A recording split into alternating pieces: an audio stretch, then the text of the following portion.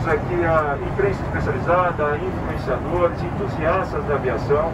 E a nossa missão hoje é fazer com que todos tenham absoluto conhecimento completo né, de tudo o que ocorreu ao longo desses 20 meses, tanto do ponto de vista regulatório quanto do ponto de vista técnico. Né? Nós temos hoje a pretensão de transmitir um conteúdo absolutamente didático e completo toda essa jornada. Então, por favor, não hesitem em fazer as perguntas. Teremos várias oportunidades para isso.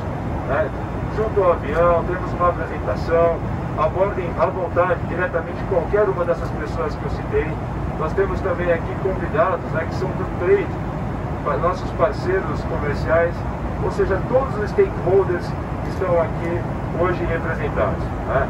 E, e, e, é, eu acredito, uma missão compartilhada, da qual depende muito do interesse de todos vocês em fazerem as perguntas, de alcançarmos o objetivo de, no final do dia, termos aqui aproximadamente 50 especialistas nesse, nesse processo. Essa é a, a grande finalidade. Nós começamos passando para o WhatsApp de vocês um vídeo, um vídeo que fala exatamente sobre a modificação técnica que foi aplicada no sistema MQS. É um sistema tão falado, nós vamos lá demonstrar é, no, no hangar de, de Confins como é o funcionamento de todo esse sistema você já tem esse vídeo ilustrativo como uma espécie de introdução ao conteúdo que nós queremos, queremos passar. Evidentemente que esse vídeo pode ser é, utilizado e divulgado da forma que eventualmente desejar.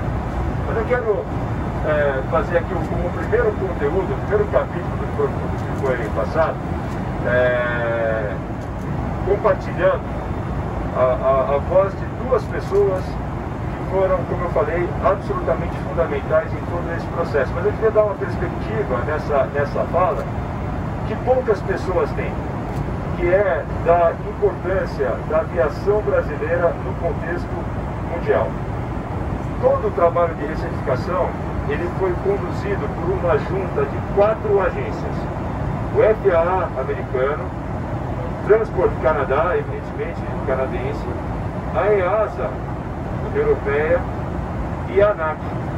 Essa ação, já trazendo uma primeira distinção, as quatro empresas, as quatro, desculpem, agências reguladoras do mundo, com o background, com o conhecimento técnico de certificação de aeronaves. Isso trouxe né, para a gente, estou falando agora para o Brasil, uma responsabilidade imensa, né, que é de trabalhar junto com esses órgãos na condução do, do processo que resultou na recertificação completa dessa aeronave, um procedimento que nenhuma outra aeronave comercial do planeta passou.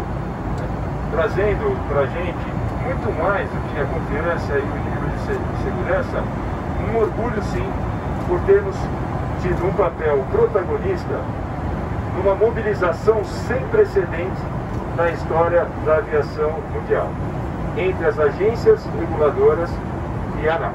Né? Nós estamos hoje aqui tendo a honra né, de termos agora os colegas da ANAC, em especial aquele que foi o responsável pelo processo.